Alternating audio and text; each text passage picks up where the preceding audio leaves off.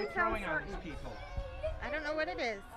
A little hard. Some sort of a whole grain product. Mom, I'm on Atkins. Should I be throwing sugar?